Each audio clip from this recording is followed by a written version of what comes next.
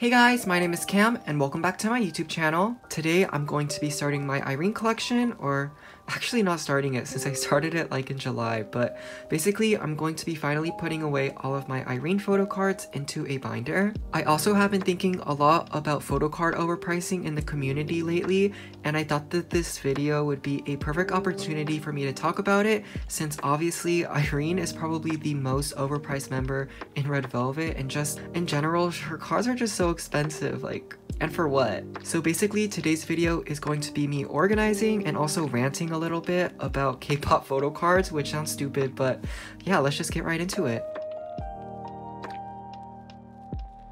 I'm going to start by taking out all of my Irene cards that I've collected.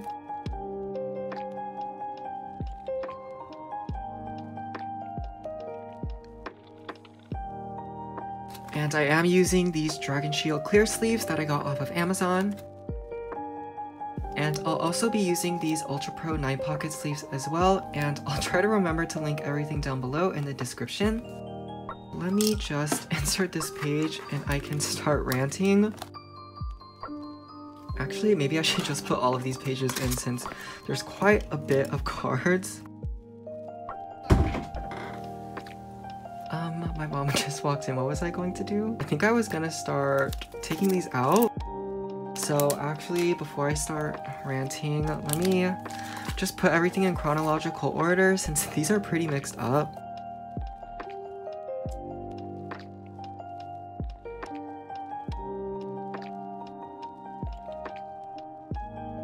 Also, my Irene collection is not complete. I'm still missing a few cards and I have their placeholders right here. So I'm missing the Velvet, the Bad Boy Kihno obviously, the Summer Magic normal version, which is on the way actually, the Sappy photo card, her day 2 version where she's shouting, but this one is on the way as well, and finally one of the finale cards. I'll put a picture of it right here, but hopefully I can find these cards eventually. I know her finale one is going to be quite difficult to find. But yeah, let's just get right into this video. I don't really have a list of like topics that I want to touch on. I'm just gonna kind of wing it. But basically, I'm just kind of frustrated with like people overpricing my member lately, especially since I've started collecting Irene. It's been really, really difficult for me to find some of her cards. Like, literally, people will be charging like $10 for an Irene card and then 5 or $6 for other members' cards. I just think it's stupid. Even when I was collecting Seulgi's album cards, I noticed this as well because I think like Based on my experience, Seulgi is the second most expensive member and Irene is obviously the most expensive member.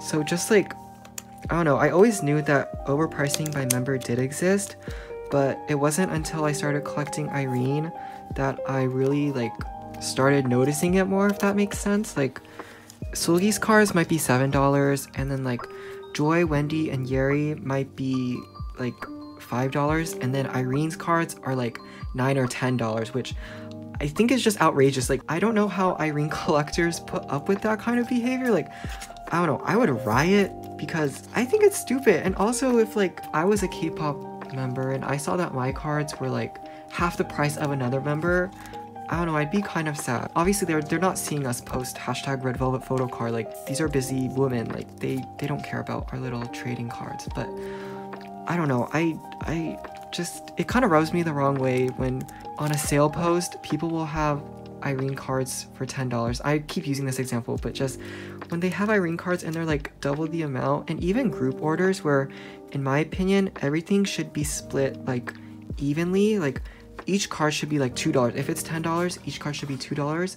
I think in a group order, that's how it should be split, but I see some people charging more for Irene or like Seulgi's cards in a group order than the other members, and I think that's just stupid because then I don't really want to join that group order because I'm like, why should I be paying more than other people for Irene or Seulgi's card? Like, it just, it really doesn't make sense. It rubs me the wrong way. I think it's really stupid and I understand that some members are more sought after. Like, I know that there's a reason behind it, but I really do think that we should get rid of that way of thinking because, first of all, like I said, it's disrespectful to the idols, and indirectly, like, harmful to the fans as well who want to collect those members because then they get a stigma in their mind that, oh, this member is better than the others, or my collection is worth more than others.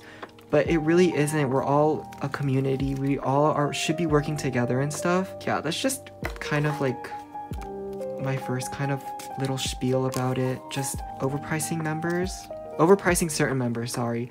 And I've kind of been looking into collecting NCT, more specifically NCT Dream, and just seeing like Jisung and Chenle, I feel like their cards are so much cheaper than the other members.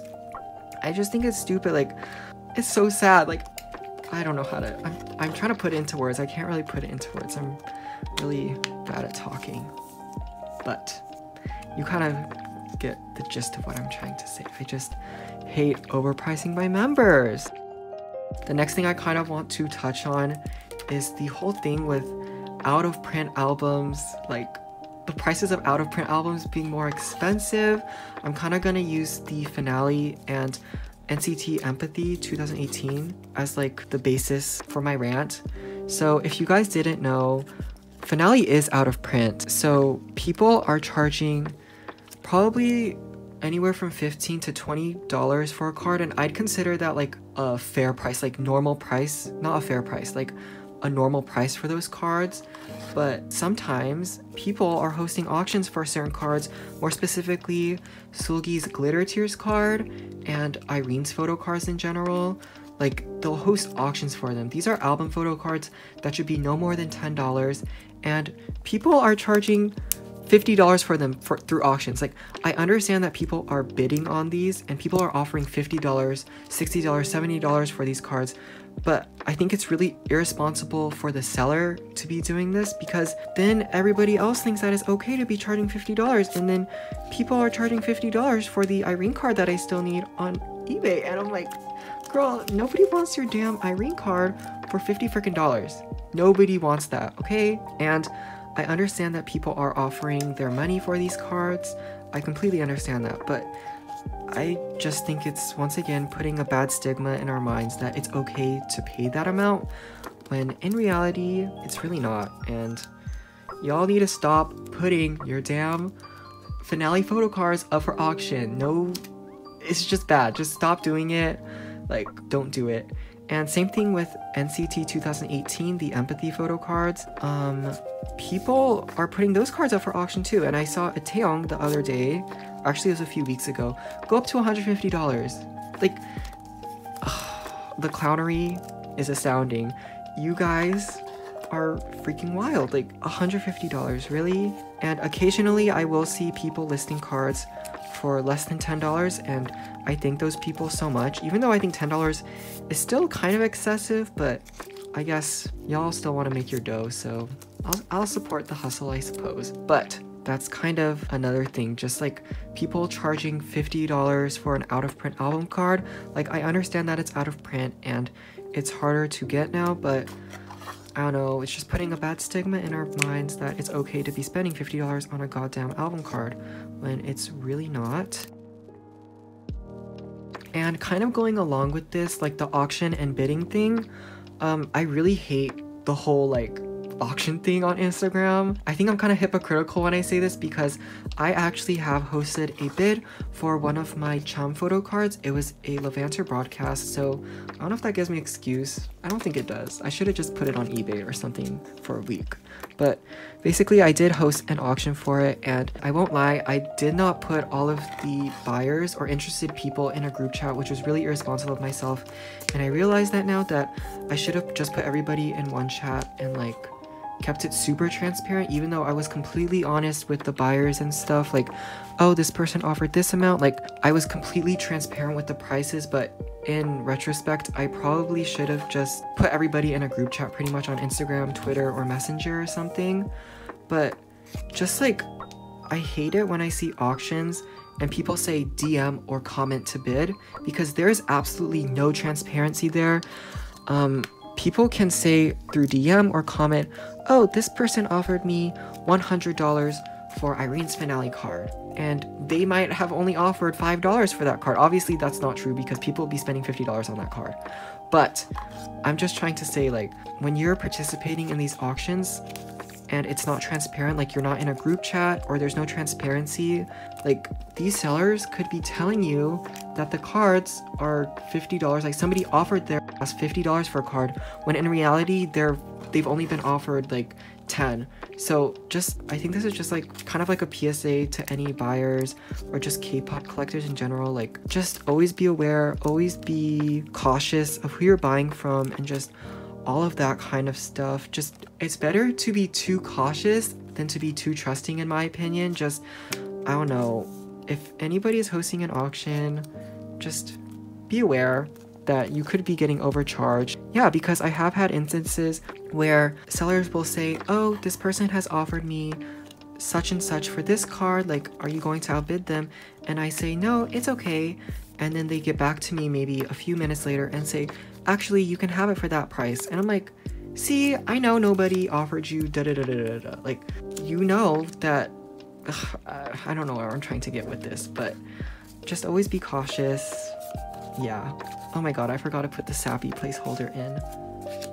Let me actually move everything down a space.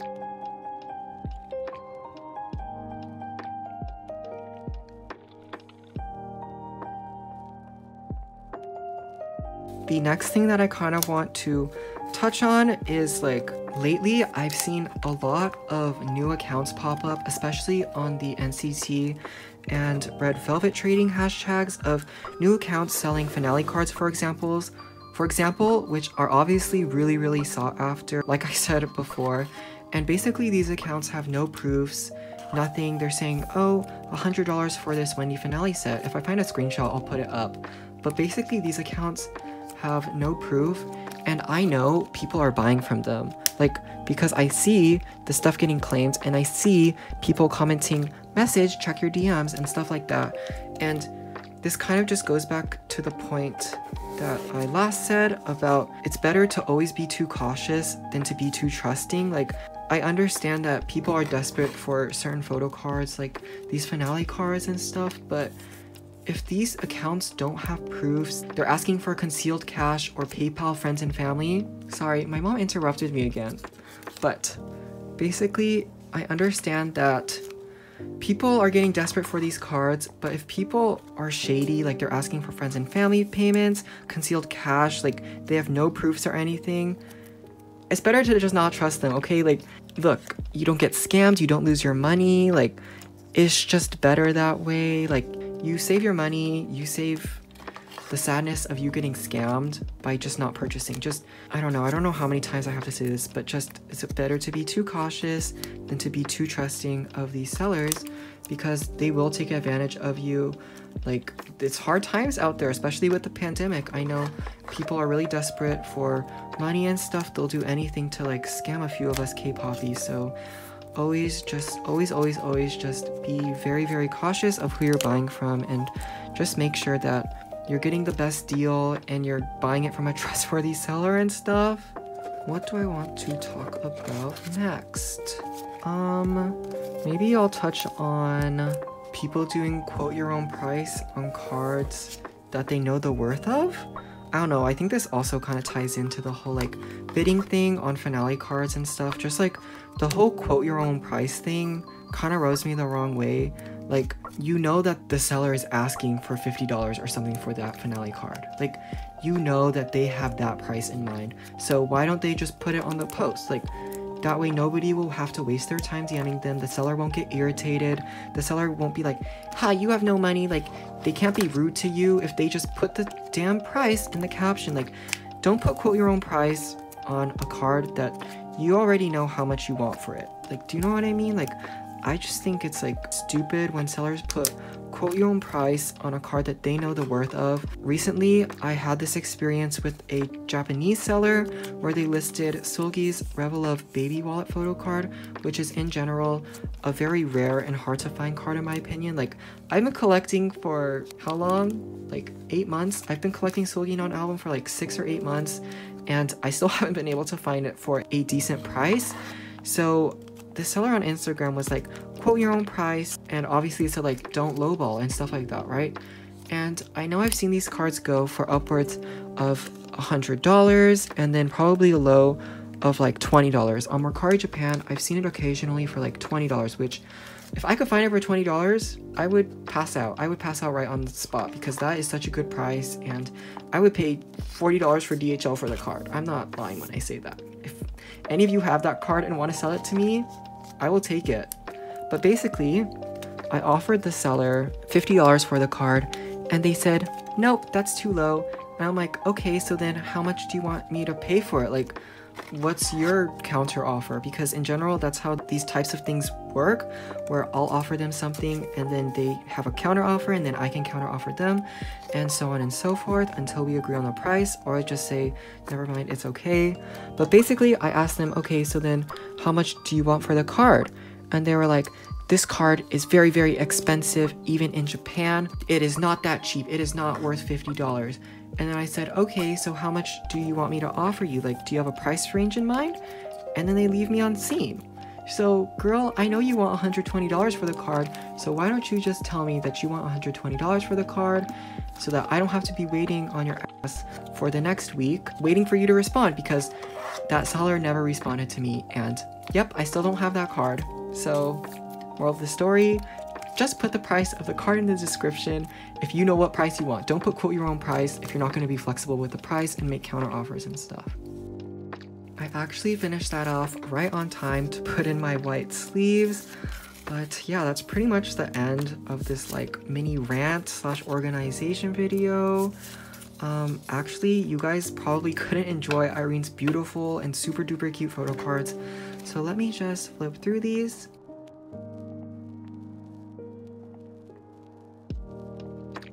If any of you have leads on this finale photo card or are willing to sell it for a reasonable price, aka not 40 or $50, like you know, hit me up, DM me, and yeah, that's pretty much the end of this organization video. Um, I thought this would be a fitting ending shot since I talked a lot about these finale photo cards, but thank you guys so much for staying to the end of this video. I really, really hope that you guys enjoyed it. Feel free to leave any of your opinions on photo card overpricing or just the K-pop collecting community in general in the comments, and I'd love to like discuss or answer any of your questions or like you know, just talk with you guys. And hopefully I can film a reorganization video of my Seulgi binder since there's going to be so many changes and so many new cards. And then I can film my updated photo card collection. And yeah, once again, thank you guys so much for watching. Don't forget to like, comment, and subscribe. Stay safe, stay healthy, stay loud, and I'll see you in my next video. Peace!